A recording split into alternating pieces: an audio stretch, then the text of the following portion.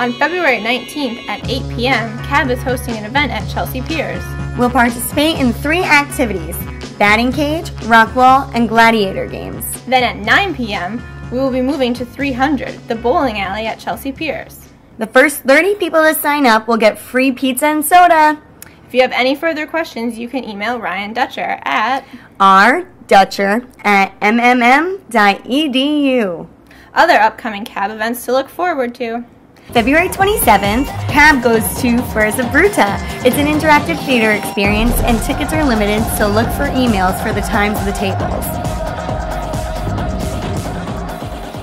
Work it, make it, do it, makes us older, better, faster. Hope to see you there.